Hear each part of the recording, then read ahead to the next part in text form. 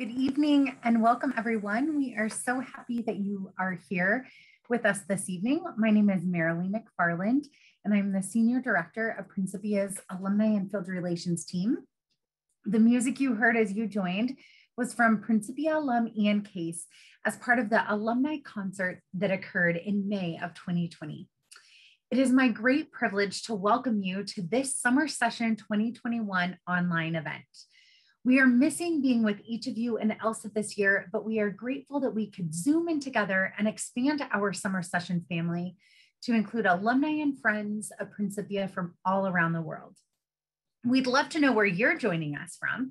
So if you want to enter into the chat box, which should appear at the bottom or top of your screen, where you are zooming in from. During our summer session events, we have had people joining us from all across the United States, Canada, South Africa, France, Australia, and beyond. And we are so grateful to our global Principia family. Whether you have attended summer session on the Principia College campus in Elsah for over 40 years, one year, or this is your first summer session experience, these next few weeks, what has occurred last week and over the next couple of weeks of online seminars will be filled with enrichment, community, and fun. And we're so glad that each one of you are here with us.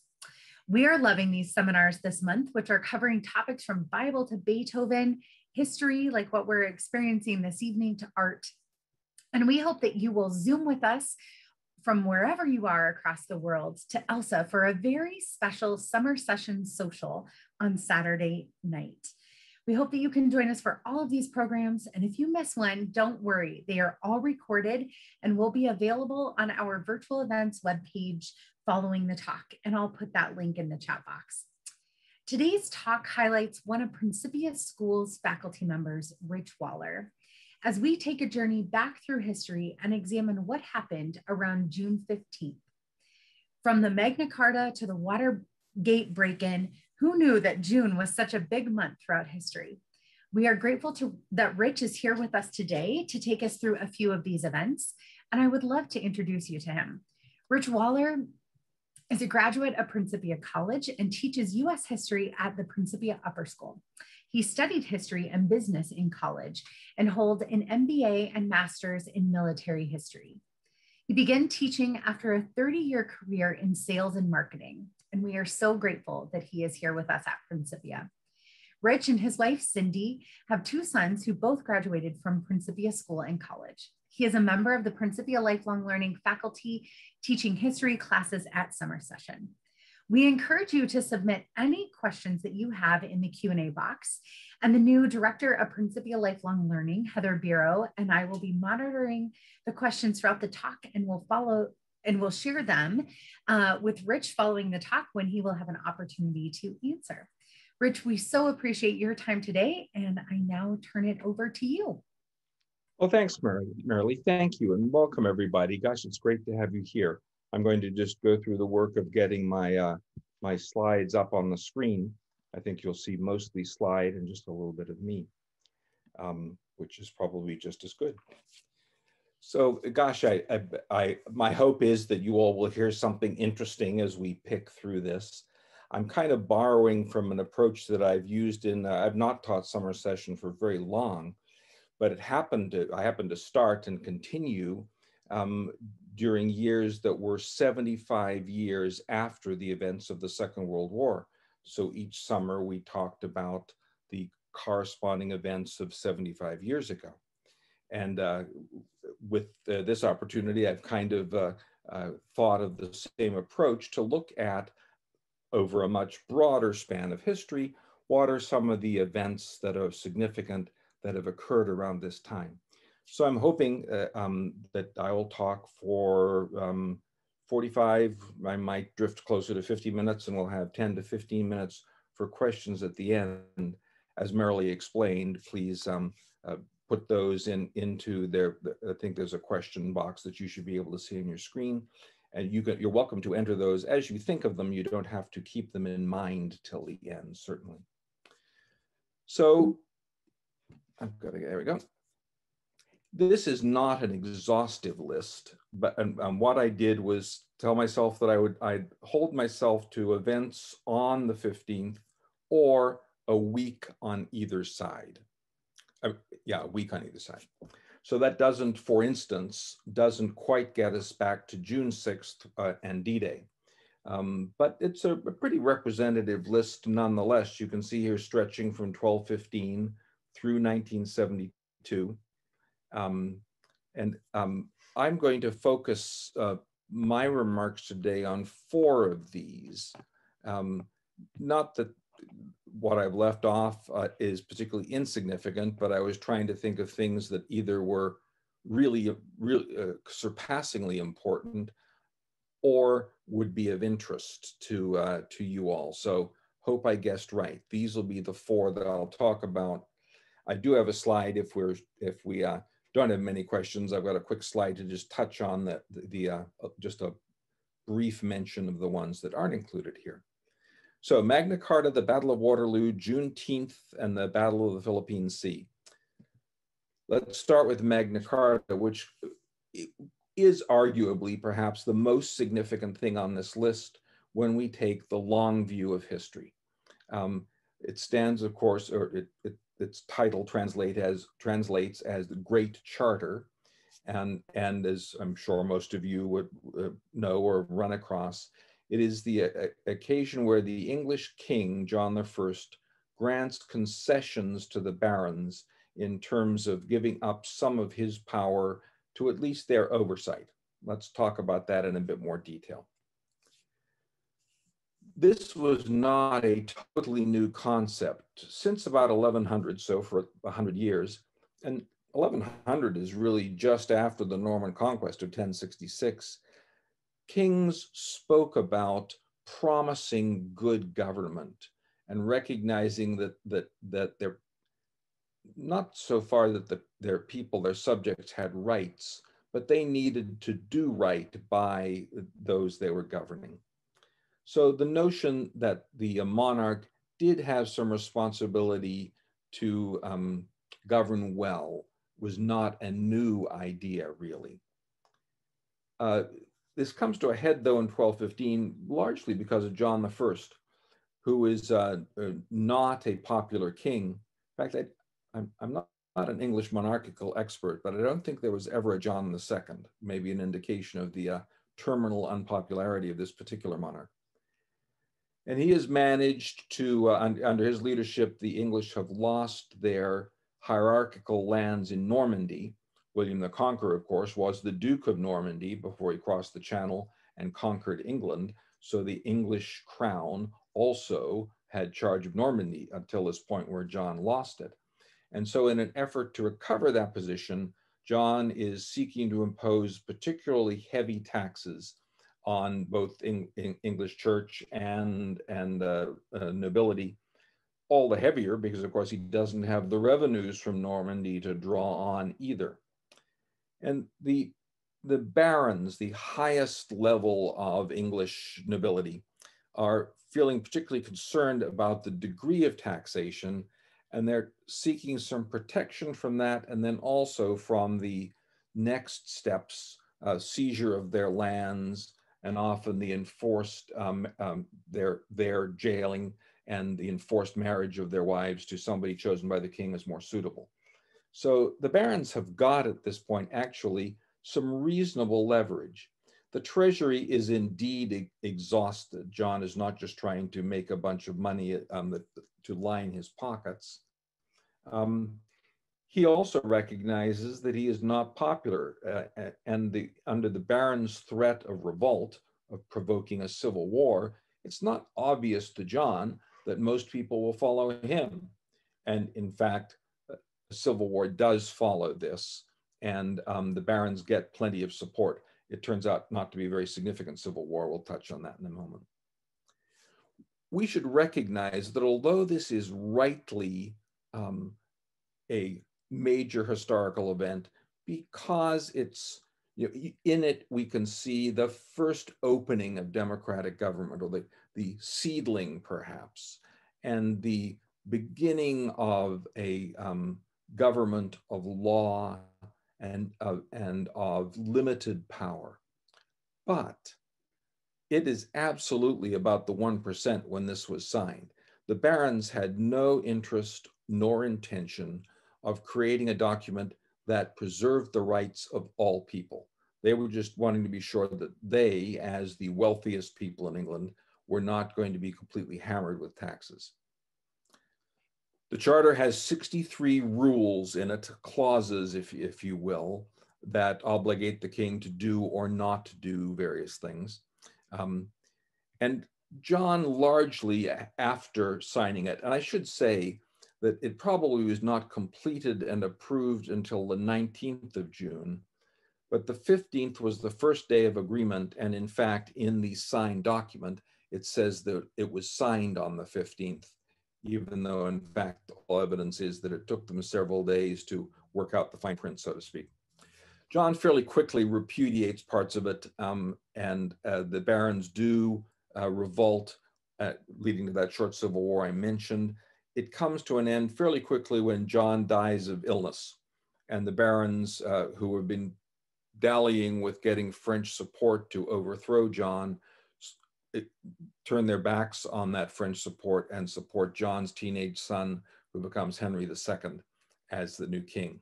So the, the war is not a long lasting or very significant one. The charter is reissued several times in the next 10 years. Some of the rules are deleted, some are changed, but, but fundamentally it remains the same and it, again is celebrated. If we were asked the question, why do we care about the Magna Carta? It's because of this notion that we've, we've, we have developed the first chink in the wall of absolute monarchical power and begun to introduce ideas having to do with the rule of law. And even though it's revised over 10 years and some things are dropped out, over time, in those 10 years, in the 100 years that follow those 10 years, people in Britain become used to hearing a lot of these ideas. And eh, as you can imagine, it's cumbersome to write a document that every time uh, you refer to who's going to benefit, you list the name of the 150 barons or you talk about only the richest people, you tend to use words like people. And son of a gun, when this document then gets read and used down through time, people like us begin to think, oh, they meant me. And certainly while the barons did not mean me, uh, it comes to be used that way. And so the ideas in the Magna Carta form the basis of English common law. Common because it is to apply to everyone.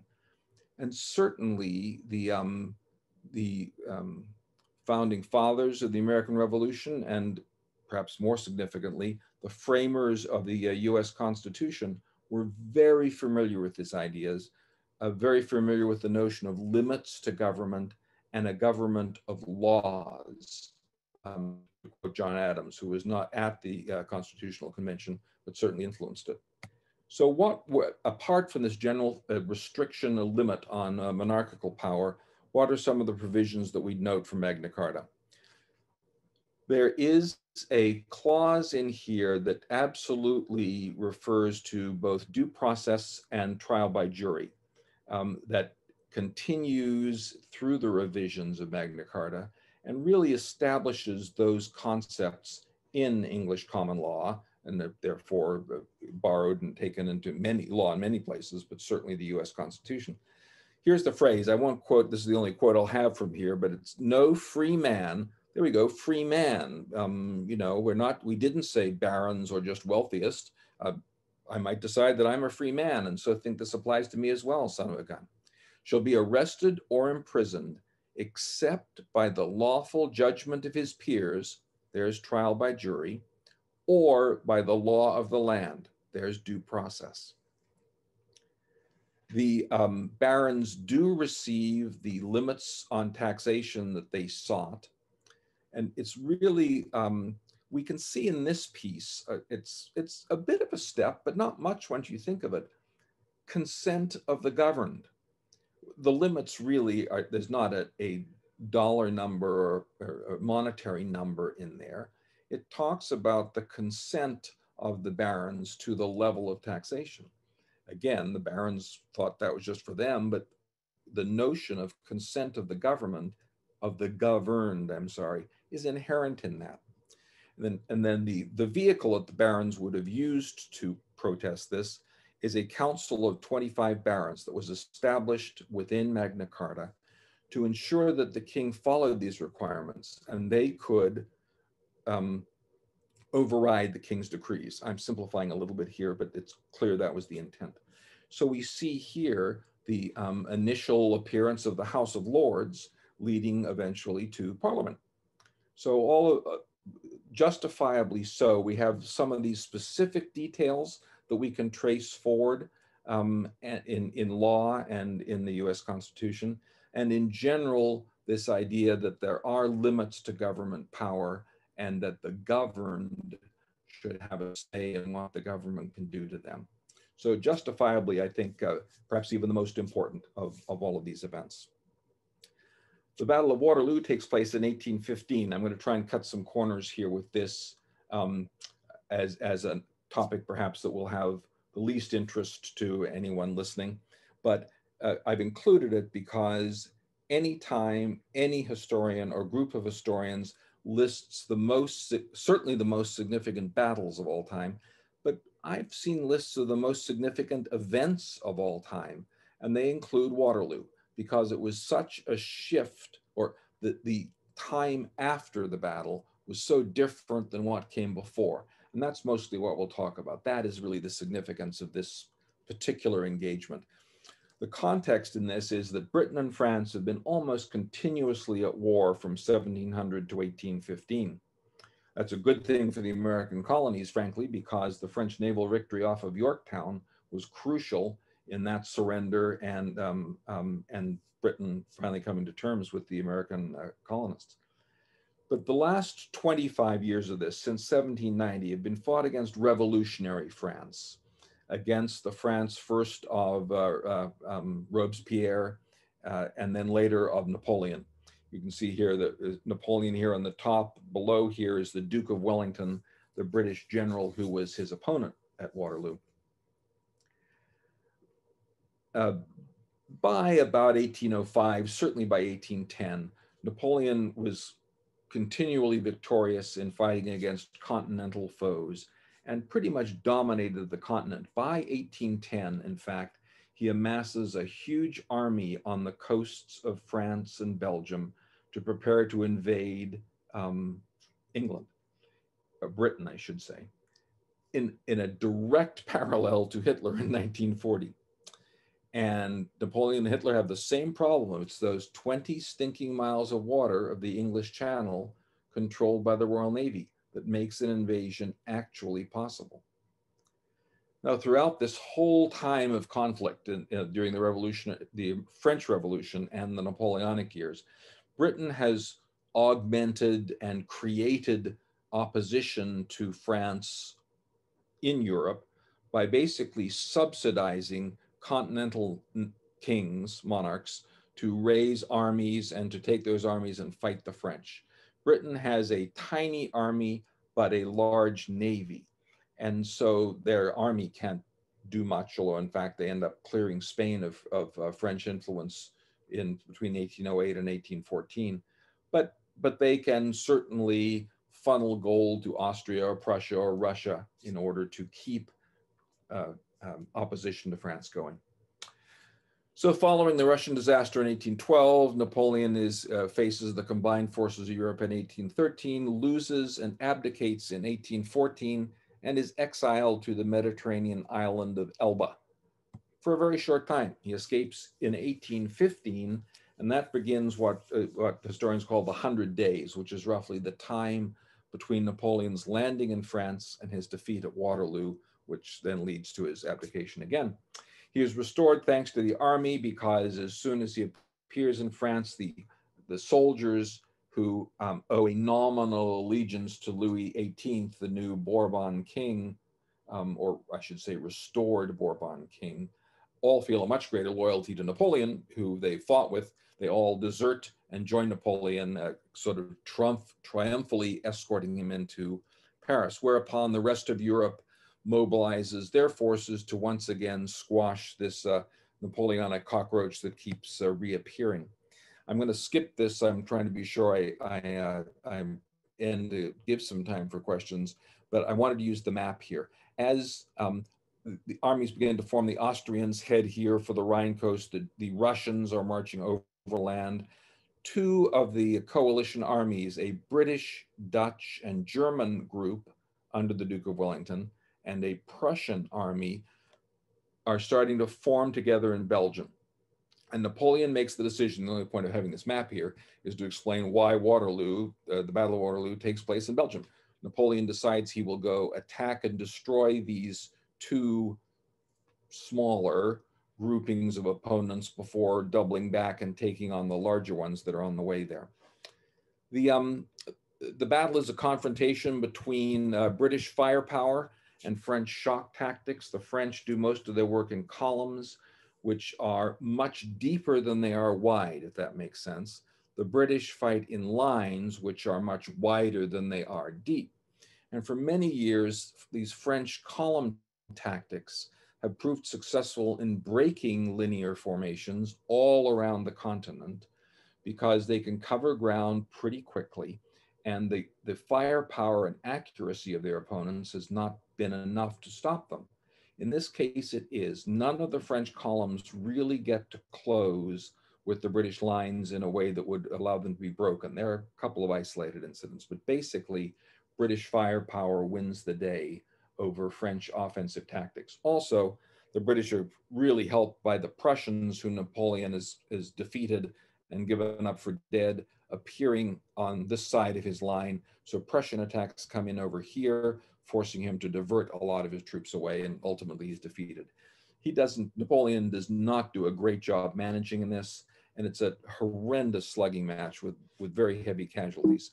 But again, why should we care? Because of the impact. Napoleon is forced to abdicate for good, and um, or I should say permanently. I don't know if it was good or not, but uh, permanently. Um, but the significant thing I think here is this second point.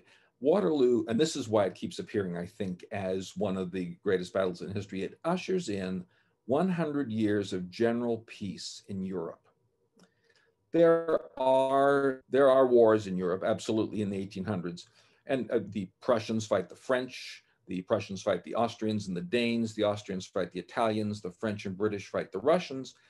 But the, those are all relatively brief, three months in a couple of cases up to a year and a half in the longest one. And the, the conflicts do not involve all of the powers at once. So what? Well, the, the thought here is that it's not as though this ended and every all the kings said, oh, good, we're through with Napoleon, now we can go on to the Industrial Revolution. But that's what happens freed, I think, of the necessity of maintaining armies and um, using resources towards warfare, uh, nations all turn to trade and productivity. The industrial, the second industrial revolution creates enormous wealth, um, and to some degree, really, the, it's the first industrial revolution in here as well. Really, by in 1820, uh, that's we're not even to the second yet. But all the way through those, European countries um, generate wealth. Uh, relative power stays about the same because they're all doing it. The other thing that goes on is nation building, particularly in the case of Germany, because Germany did not exist in the Napoleonic times, just as it really hadn't before. Prussia was the largest kingdom. And you know, in the 1400s, Germany was an incredibly fragmented hodgepodge of little tiny states. Uh, even by the Napoleonic times in the early 1800s, it was still very fragmented. Plenty of those little states had coalesced into somewhat larger ones, but Germany was still very fragmented. So one of the stories of the 1800s is Germany coming together, which occurs in 18 after the Franco-Prussian War in 1870. I'm so glad that, that the timing, excuse me, here from my Principia mug. I'm glad that the timing here allows us to talk about Juneteenth. Um, this is the uh, the celebration common now in, in many states of the Union of the United States, and it commemorates June 19th, hence the Juneteenth amalgam of the day and the uh, and the date. Um, and this marks the date um, when a proclamation was issued in Texas. So let's talk about the context here. On June 19th, General Gordon Granger arrived in Galveston as uh, the newly appointed commander of the Department of Texas. After the Civil War, Southern states were really, in essence, occupied. I, there were prettier names used. I'm sure Southerners viewed themselves as occupied, but Union forces, soldiers did actually spread out throughout those states. They were they had a military general as the head, and sometimes there are two or three states combined together, right? Arkansas, Louisiana, Mississippi, I think were all one. Texas was big enough to be their own department. And upon landing, Granger issues a proclamation the, the first couple of sentences of which are, are reproduced here. The people of Texas are informed that in accordance with a proclamation from the executive of the United States, we'll talk much more about that, but that's his legal justification, all slaves are free. He goes on, this involves an absolute equality of rights and rights of property between former masters and slaves, and the connection between them becomes that of employer and hired laborer the reason why uh, similar announcements were promulgated in each of the southern states as um, commanders took over. But the significance of June 19th, uh, 1865 is Texas is the last southern state where this, what infrastructure of northern control was established. And so this is the last state that is, was informed on the 19th that all slaves are free. Um, uh, I hasten to note here that there was no magic in this. This might have, by the following day, freed many of the slaves in Galveston, but not in fact until Union soldiers spread through the state were slaves actually freed. Owners had every incentive to keep their slaves locked up and they weren't going to respond to some notice in Galveston. What did that mean to them? First, it was hard for them to even know it had happened. Second, until they were compelled to do so, they wouldn't necessarily free their slaves, and most didn't.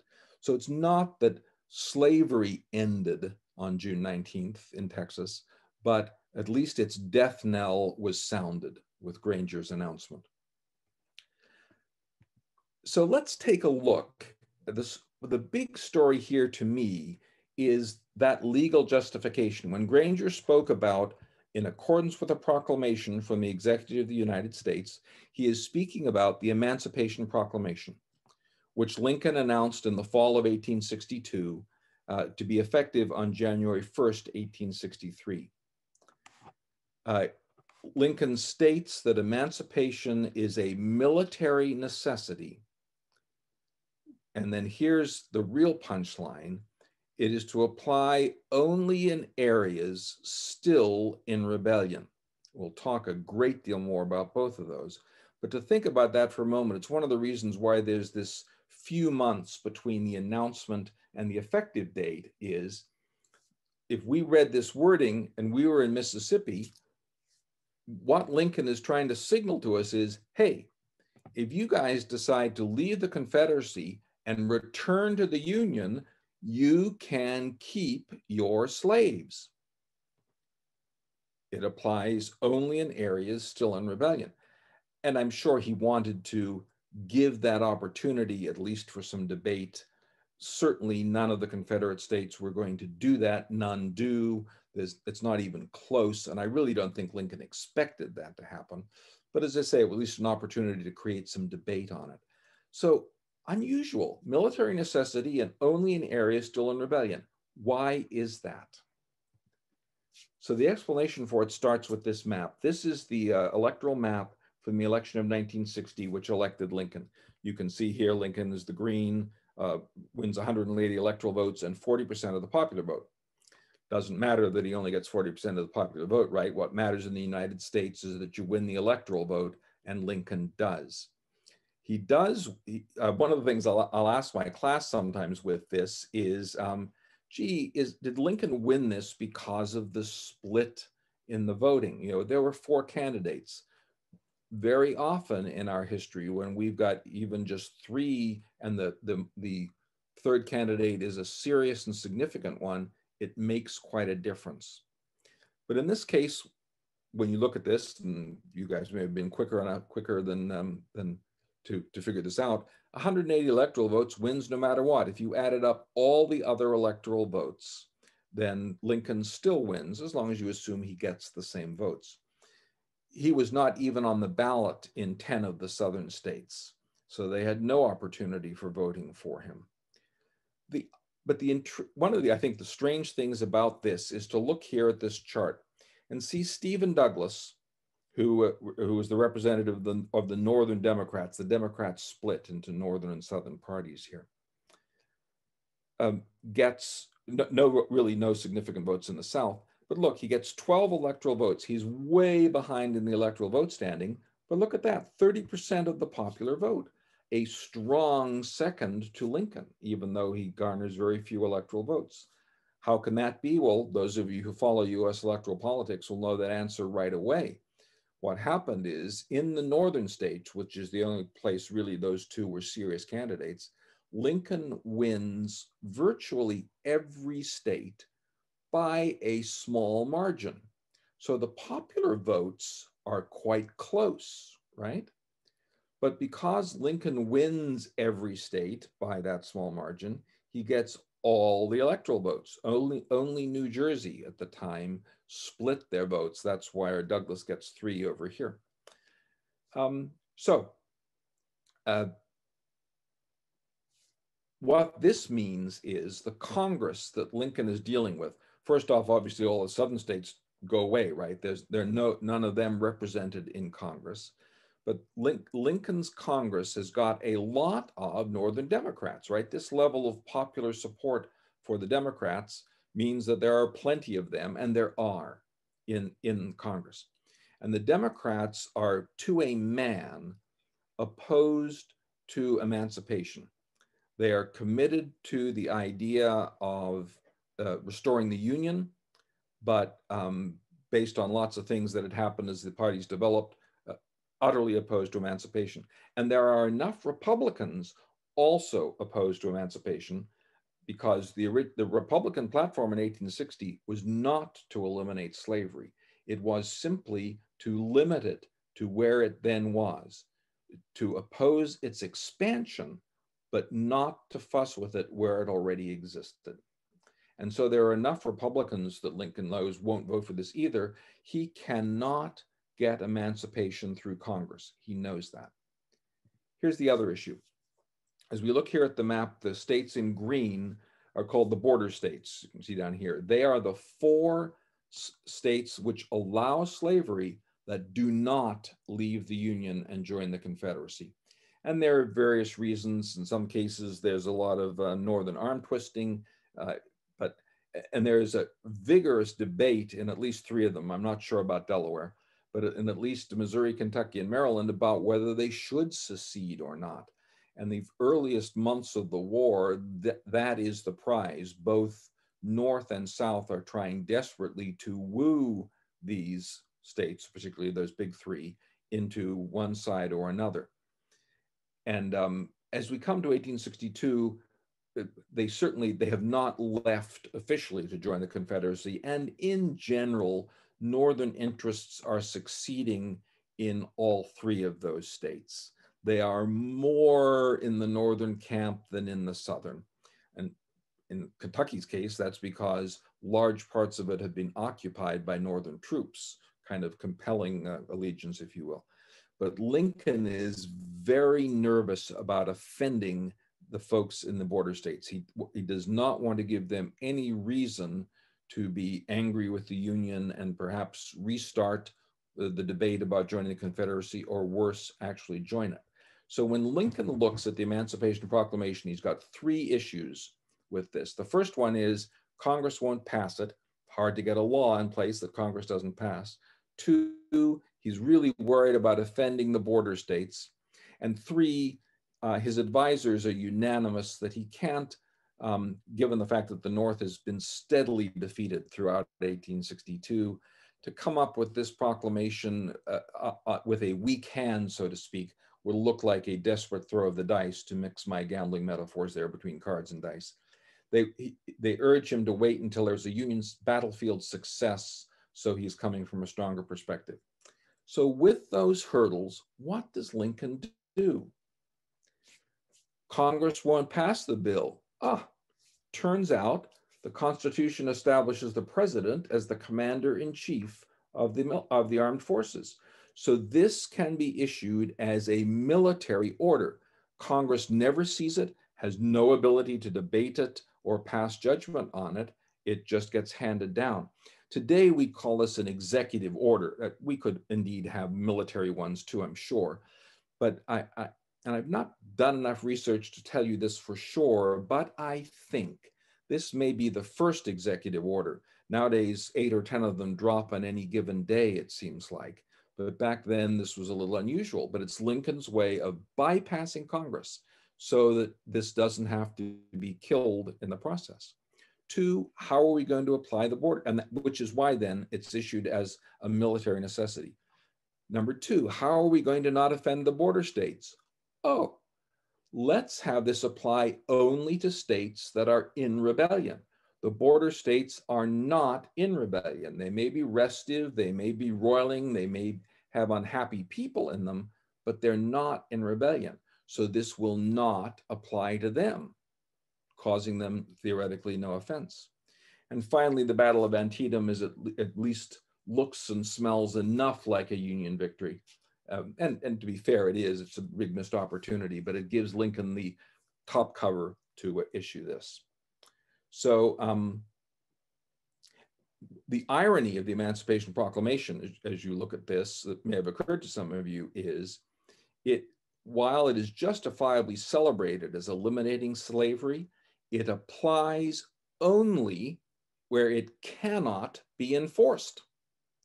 It applies only in states in rebellion, and there is no mechanism for Lincoln to cause those states to free their slaves. That's what the war is about. So the Emancipation Proclamation requires the success of Northern armies to be effective. And indeed, as we go through the latter parts of the war, when Northern forces are more effective, slaves flock to the Bluecoats whenever they're within, you know, walking or migrating distance.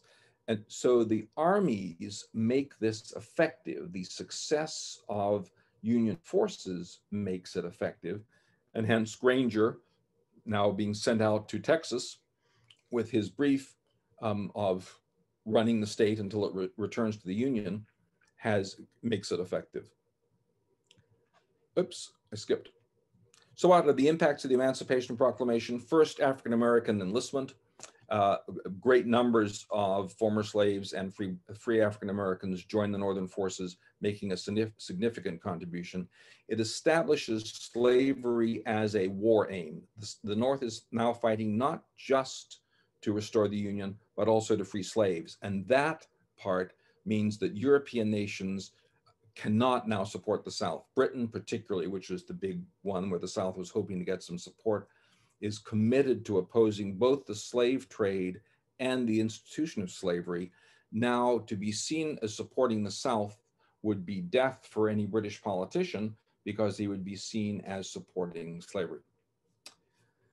The reason why this is the operative law for Granger on June 15th or June 19th, sorry, 1865, is that the 13th Amendment was passed on January 31st, 1865 by Congress, the first step in creating an amendment. But then states have to go ratify that amendment. And so through 1865, we're in the ratification process. The amendment is finally ratified on December 6th, 1865, supplanting the Emancipation Proclamation as a law is considered higher than an executive order it prompts me just to mention that if those of you who may or have seen or might be interested in seeing again the movie titled Lincoln, which seems to me like it was five years ago, but that probably means it was 10 years ago, um, is a really wonderful portrayal of Lincoln pushing the 13th Amendment through. And principally, he is concerned about that because if freeing slaves is a military aim applying to states then in rebellion, what happens if there's no war and no rebellious states? The courts could conceivably overturn that. And that's why he wants the 13th Amendment so badly, so that we actually have a legitimately passed congressional document that supports the end of slavery. Final one, I'll try and cut some corners here. I've gone longer than I thought. The Battle of the Philippine Sea. This is in here a little bit uh, as an homage to uh, uh, Jim Belote, my, uh, who many of you may have known, my uh, uh, history teacher at Prin College, my advisor. he and his brother um, wrote a series of books about the war in the Pacific, including one about carriers. And the Battle of the Philippine Sea is the fifth of five great carrier engagements between the US Navy and the Japanese Navy. Uh, this occurs at, um, again, cutting some corners here. I'll talk less about Spruance maybe, but in the Pacific, the, the Americans, and it was really an American war, conducted themselves really from, from two um, fronts or approaches. Douglas MacArthur with American and Australian Army units worked his way up from New Guinea heading for the Philippines, while the US Navy and the, uh, the soldier component of the Navy, the Marines, came across the Central Pacific under the command of Chester Nimitz, Admiral Nimitz. I got to put in a quick plug for Nimitz, who I think is uh, almost certainly the best US commander uh, in World War II. George Marshall, the chief of staff of the Army, could be a is a very close second, but the two the drop off from the two of them to whoever is third is significant. Um, this occurred. Uh, before I talk about the how it happened, I always it, it's interesting for me to take a look at a very tangible piece of evidence dealing with U.S. industrial production. And truthfully, while the United States does fantastic things in their military, the courage and energy and indeed contribution to winning the war is unmistakable and not to be diminished. The biggest single thing the US does to win World War II is make stuff and we give it to our allies, the British and the Russians. Certainly, we certainly make plenty for ourselves. So, just to look for a moment at aircraft carriers, which are the crucial weapons system in the Pacific War. If we look uh, and and carriers can be broken into two broad classes: fleet ca carriers, which are the big um, vessels holding 70 to 90 aircraft and then a, a, group of intermediate carriers, which are faster to build, and they'll hold 40 to 50. We're not talking here about the little tiny escort carriers, which were a third class that really didn't take part in, in fleet operations much. Pre-war, the Japanese have six fleet carriers. Those are the six that attacked Pearl Harbor and five intermediate sized carriers, while the US has five fleet and two intermediate. Close to parity, right? throughout the war years, the Japanese build five more fleet carriers, um, one of which is sunk in Tokyo Harbor on its uh, builder's trial, never has a plane land on it. US submarine uh, Archerfish sinks it. And then two more intermediate. So not even quite doubling what they had before war. The US builds 24 fleet carriers and nine intermediate ones.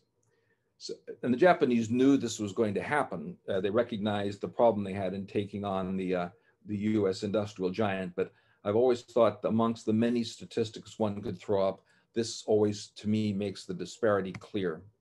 The Japanese are expecting to, come on, as we go on. Yep. Japanese are expecting this to be decisive battle. They design their philosophy around that. They're going to wipe out the US fleet. The US goals are a little more limited. Uh, uh, Spruance, the admiral in charge, is given the task of protecting the landings in Saipan. We want Saipan because we can base the new giant B-29 four-engine bombers there and actually reach the Japanese mainland. So the point of capturing Saipan is to set up uh, aerial bombardment of Japan. In the Philippine Sea, the Japanese have nine carriers, five fleet, four intermediate and 750 aircraft, 300 of which are land-based on Guam and Saipan and other Mariana Islands. The US, on the other hand, is superiority in carriers, seven fleet, eight intermediate, and about 900 aircraft. The longer range of the Japanese aircraft means most of the fighting is over the US fleet. And we can see here, I think this is one of the US intermediates, Independence, with, with uh, bombs bursting around her. Um, there are four major Japanese strikes during the day. And the key point to this battle is the Japanese naval air arm is virtually wiped out. I show here that uh, um, um, perhaps 200 of the uh, 750 survive. That's probably generous too. That could be as little as 100.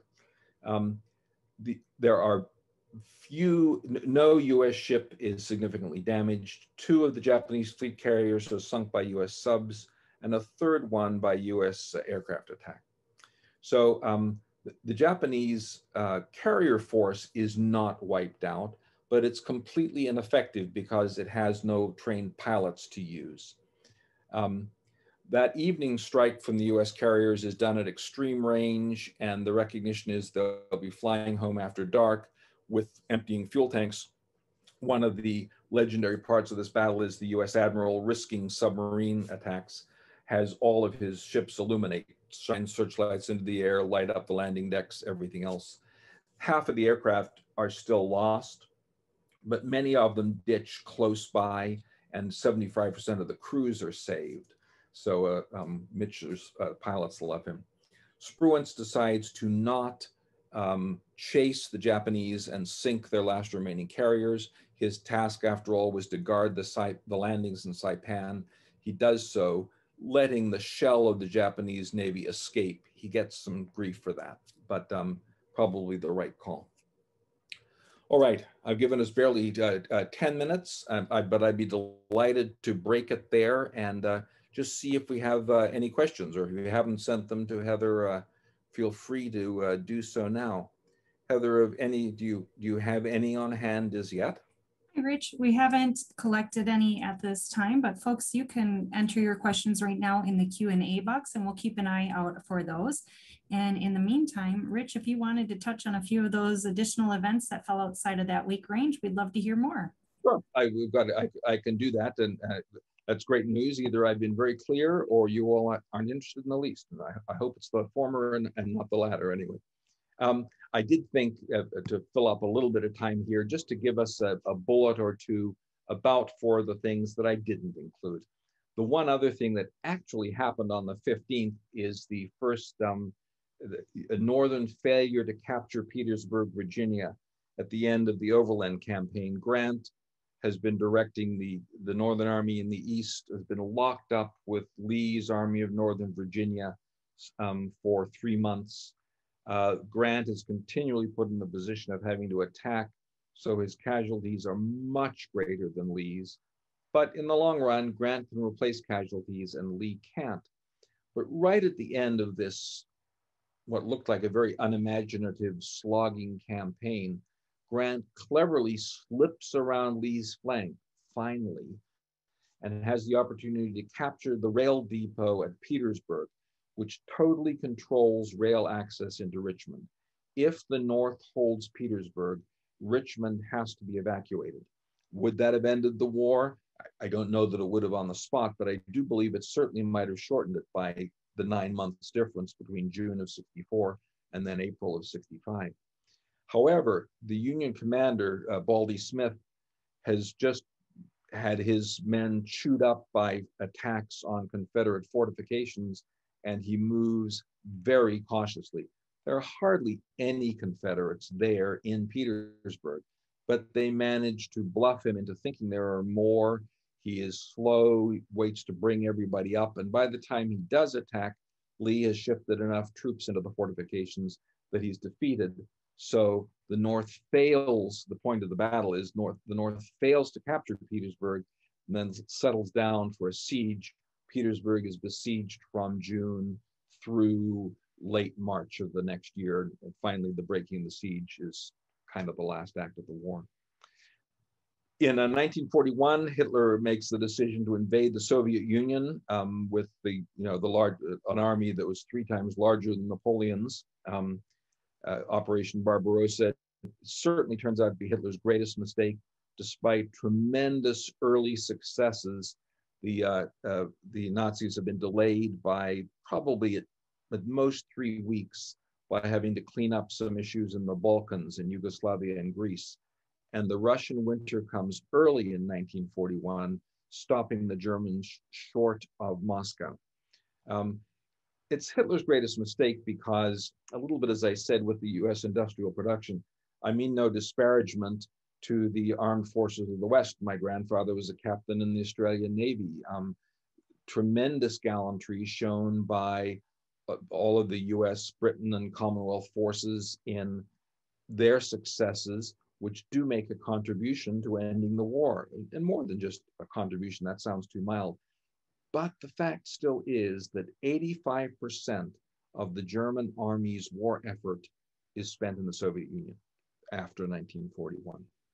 So, um, uh, truthfully, the Soviets do a lot of the heavy lifting and suffer a commensurately much higher level of casualties than the Western powers. The Mississippi Summer Murders, I, I made a plug for the Lincoln movie a minute ago. If any of you uh, uh, can find, I, I, don't know where you would, but uh, the movie Mississippi Burning, which I think is Gene Hackman's breakout role, uh, is about this story, which it's uh, uh, the summer of 1964. The effort was to send US uh, college students from the North down into the South, into Mississippi particularly, to register voters. Uh, Mississippi had the largest number of, has the, had the largest, I think I'm right, in number of potential Black voters and the lowest number of voters registered. So it was chosen as a symbolic effort the first one of these teams to uh, head down south. They were all trained in Oxford, Ohio, at Miami of Ohio University. Uh, disappears within 24 hours or 48 hours of getting to Mississippi. Their bodies are eventually found in a dam that was an earth dam that was being built at the time. And the movie is the story of that discovery because it's felt that the, um, the local law enforcement cannot be trusted to solve this. The FBI is bought in and I, it, it's crossing states if we figure that the victims were from another state. And their right to not trust Northern law enforcement, it was uh, some of the deputy sheriffs who had killed them. Sadly, perhaps because it was a couple of white uh, uh, college students, white males, this was particularly noticed in the North. Um, and when I say particularly, it's the end of a long series of building evidence of, of the, um, the harm done by Jim Crow laws, um, the separate but equal laws.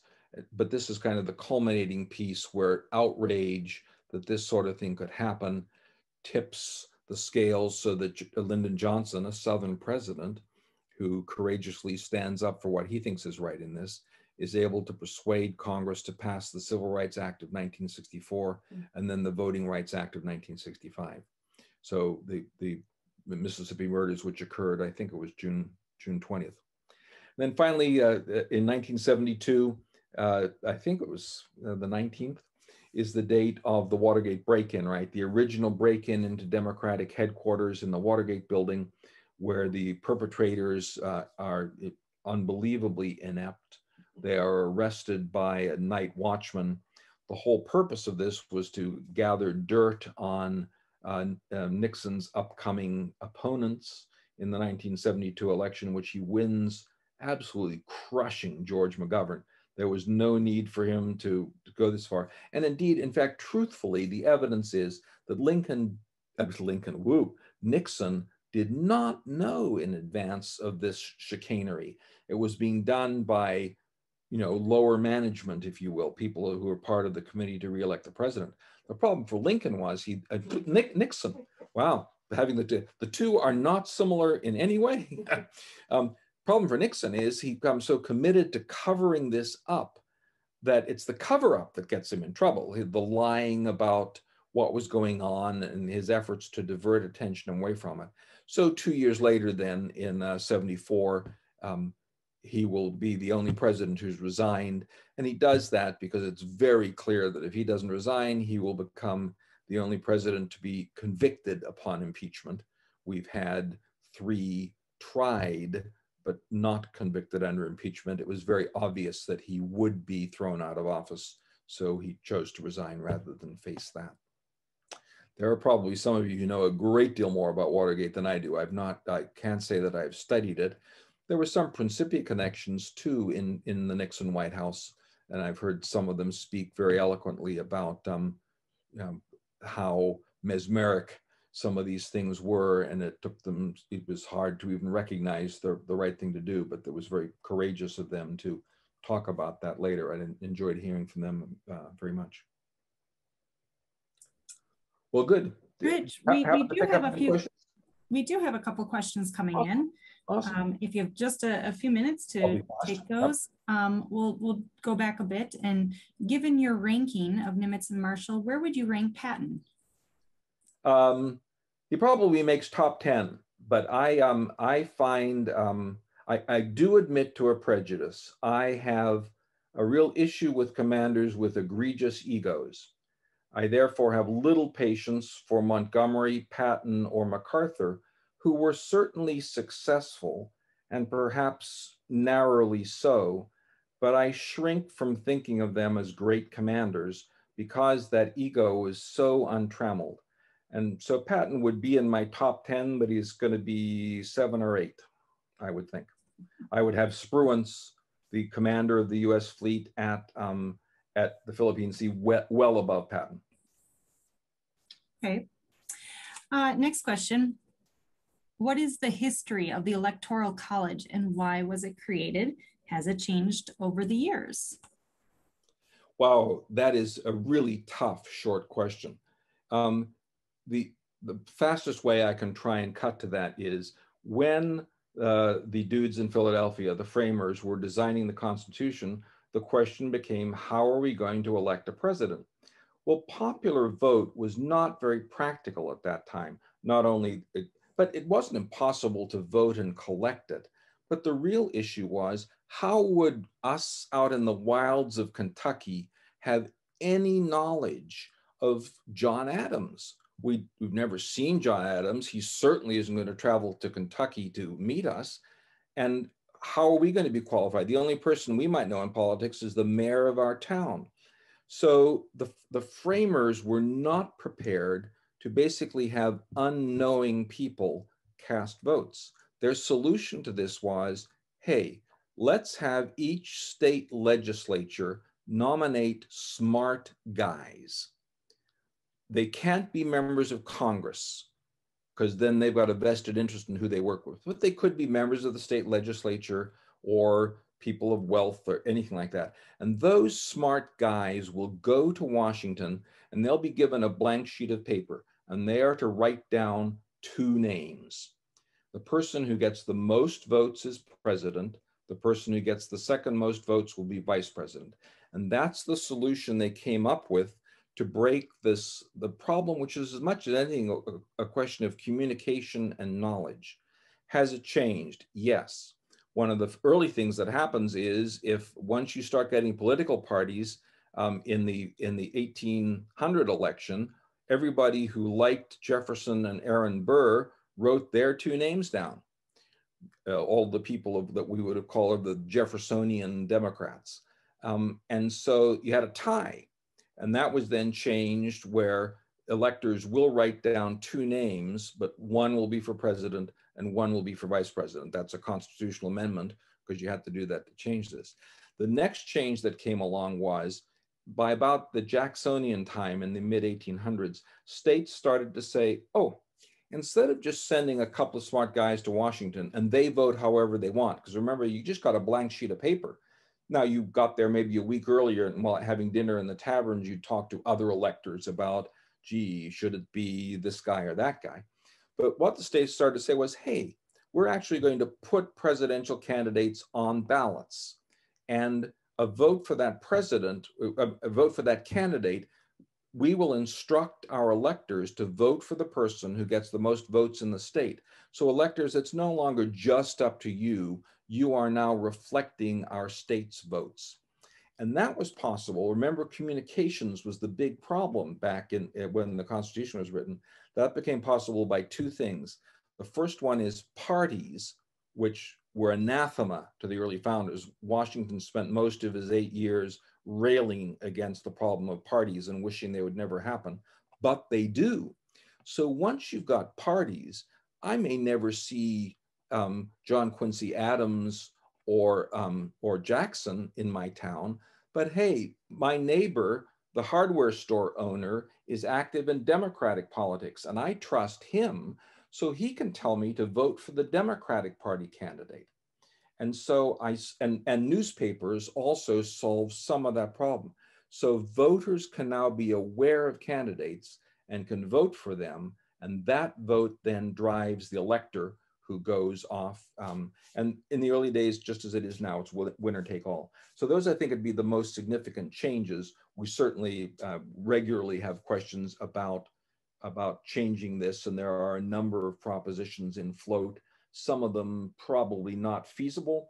A couple of others could actually happen to try and tie the results of the Electoral College more closely to the popular vote, which is usually seen as the problem. You know, we don't, it, it's not a great mirror. And then the last several elections, that's been more of an issue than it had been in all of the elections before, really. So that I definitely cut some corners in that, but I hope that's interesting of interest to, to that question. That that is interesting, Rich, and, and thank you for that explanation. I, I have a few more questions. Um, the next one is, was one of the basic purposes of the Emancipation Proclamation to keep Britain and other European countries from recognizing the Confederacy as an independent country? That is certainly an effect. And I wouldn't pretend that Lincoln wouldn't have had that in mind um, there were, that was not, you know, that was not obvious that that was absolutely going to happen. But I'm, I am sure Lincoln has not left a record saying this is why I did it. That included that includes a reference to that. But certainly it has that effect. The question really is asking, was it motivated by that? Um, I think the evidence we have is that it was a subsidiary factor, perhaps, but not an overt one. Okay, and then I have a couple more and then we'll have to wrap it up. So I'm gonna lump these together um, because it'll, it'll involve your opinion. And who is your favorite Civil War general? And then if you can leave us with letting us know of any books you recommend related to your World War II discussion. Sure. Um, although gosh, I, I should have prepared better for the last one. My, uh, I have uh, two in the Civil War. Uh, one, uh, my, my favorite is actually George Thomas, and I've already re revealed a preference for less excitable, more, uh, more humble personalities in command, and Thomas fits that for sure. Um, and I think makes major contributions. The other is Grant. There's been a big swing recently, and we, there have been a couple of major Grant biographies recently, but uh, he is being recognized more and more.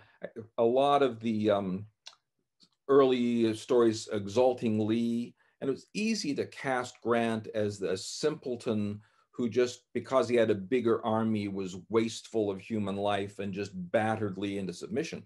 And Southerners have tended to tell that story because it looks better for them, right? It fits the lost cause argument. But Grant actually was a really excellent strategist.